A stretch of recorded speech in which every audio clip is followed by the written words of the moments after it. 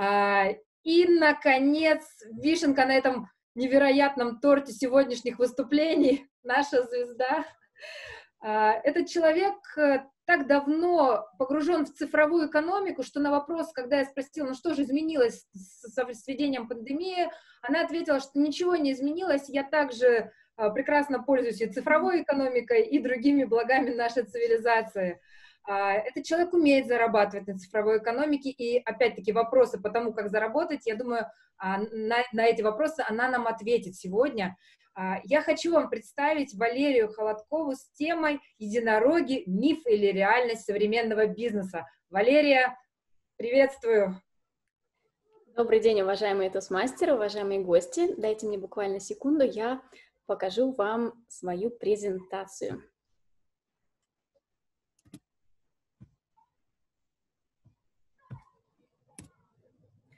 Хорошо ли ее видно?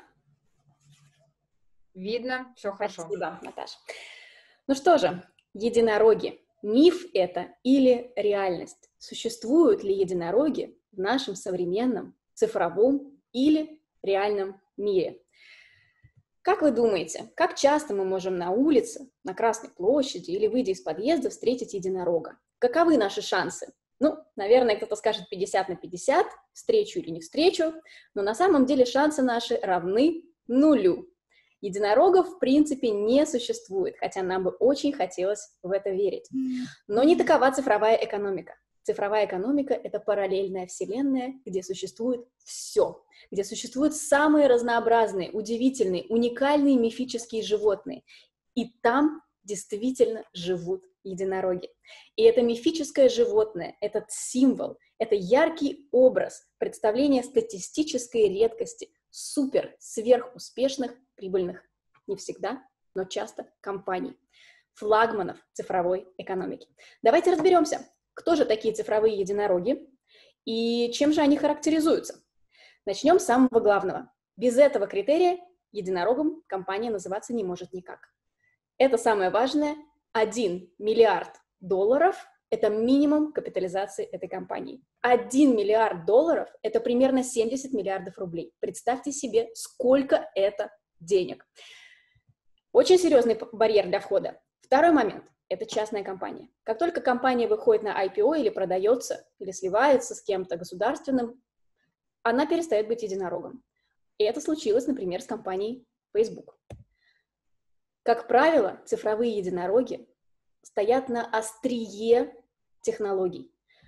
Мы узнаем еще несколько примеров, довольно интересных сегодня в рамках моей презентации, но почти всегда, в 99% из 100, единороги создают что-то уникальное, какие-то невероятные сумасшедшие инновации, которыми мы с вами пользуемся каждый день и считаем, что так и должно быть в нашем мире.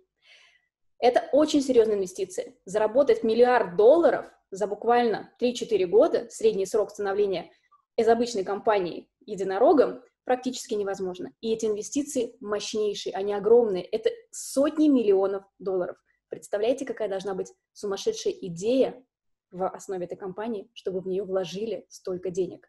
Как правило, не обязательно, но опять же в 9 из 10 случаев это B2C сегмент, то есть это продукты, для нас с вами. Не для государственного сектора, не для бизнеса, а для меня, для Наташи, для Алана, для Лены, для каждого из нас, кто сегодня пользуется этими технологиями.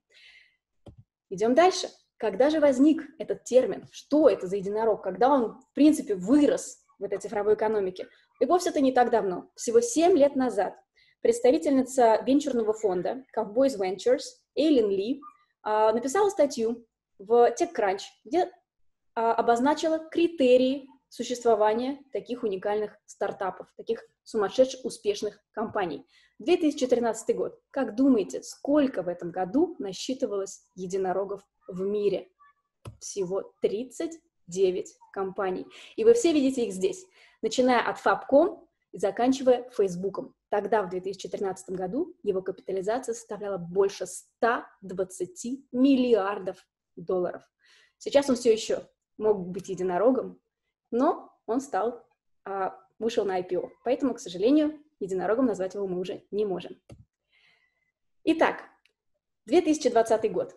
Сколько сейчас Семь лет спустя, как вы думаете, в мире компаний, чья капитализация насчитывает миллиард и больше долларов, вы, честно говоря, мне кажется, очень сильно удивитесь. 465 стартапов с капитализацией 1 миллиард долларов. Это сумасшедшее число, огромное количество инновационных компаний, которые сегодня ежечасно, ежеминутно создают инновации для нас с вами. Давайте посмотрим на карту, насколько они реальны. Как вы думаете, в 2019 году где больше всего выросло, возникло таких единорогов? Я думаю, это не будет для вас откровением. 72 компании появились в США, 15 в Китае и 18 во всей Европе. Если мы считаем вообще, в принципе, всех э, и все европейские страны, даже в Литве появился такой цифровой единорог. А вы спросите, а в России есть ли у нас такие единороги? Есть, но очень, к сожалению, мало. Авито, а, Яндекс, ВКонтакте. Но некоторые из этих компаний, как вы знаете, уже официально юридически не находятся в России. Поэтому не факт, да, даже нельзя назвать их российскими единорогами. Хотя корни, родились они, в принципе, у нас здесь. Есть несколько компаний, но, как правило, мы о них не так часто слышим. Почему? Сектор. Где же они появляются? Больше всего единорогов, и вы удивитесь, это финтех, это финансы. Там, где деньги, там, где инвестиции, там, где возможность э, распределять цифровые деньги по миру, там больше всего единорогов. На втором месте электронная коммерция. То, чем мы с вами пользуемся постоянно. Миллион приложений в мобильных устройствах. Все, что мы оплачиваем, привозим, покупаем, 12% единорогов. Интернет-сервисы и софт. Это виртуальная, дополненная реальность. Многие очень интересные, очень инновационные стартаперские технологии, очень крутые вещи. Их тоже довольно много, 12%. И, наконец, Алиса и другие искусственные интеллекты, которые возникают а, там-сям, развиваются,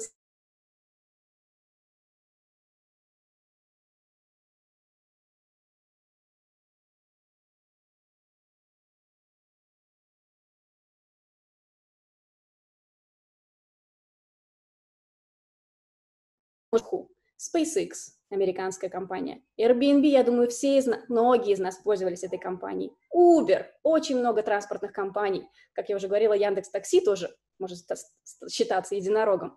Magic Leap, сумасшедший стартап про виртуальную дополненную реальность. Grab, тоже такси, но в Юго-Восточной Азии. End Financial сейчас обладает капитализацией больше 150 миллиардов долларов. Китайский финансовый стартап. Никто, наверное, из нас его даже не знает. А он есть. А теперь я хочу поделиться с вами одной историей. Как сказала Вера, дохлый пудель. А, когда видишь дохлого пуделя, понимаешь, что пудель существует. Когда видишь умершего единорога, понимаешь, что они действительно существуют. Есть очень интересная история одного медицинского стартапа. Он называется Terranos. Он возник очень давно, в 2003 году, и его основательница Элизабет Холмс. В 2016 году ее капитализация Тараноса составляла 9 миллиардов долларов, а ее личный фонд 4,5 миллиарда долларов. Она была самым богатым стартапером Америки. Второй Стив Джобс. Что же она придумала? Она придумала портативную лабораторию, крошечную коробочку, которая по одной капле крови могла дать вам полный анамнез всех ваших возможных болезней. 13 лет она пудрила мозги Америки. 13 лет в нее вкладывались инвесторы, капитал – называли ее гением медицины. Однако epic fail. В 2016 году пошли суды, а у нее отняли все деньги, и сейчас а, они даже сняли фильм. И если вам это интересно, внизу у меня есть ссылка на этот фильм от компании HBO. История умершего единорога. Ну что ж, друзья мои, а мы приближаемся к концу, и нам нужно ответить на главный вопрос. Когда вы выйдете на улицу из подъезда, вы наверняка, да что же наверняка, никогда не встретите живого единорога. Но когда мы задаем себе вопрос, миф или это реальность современного бизнеса, то ответить на него можно очень просто.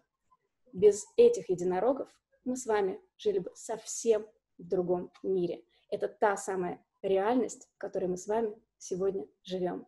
Давайте будем надеяться на то, что эти мифические животные будут жить размножаться, плодиться и нести нам радость цифровой экономики. Спасибо. Благодарю тебя, Лера. Особенно благодарю за прекрасную презентацию. Сердце мое радовалось и обливалось медом. А тема стартапов для меня очень близка и много очень полезной информации, которую ты сегодня рассказала.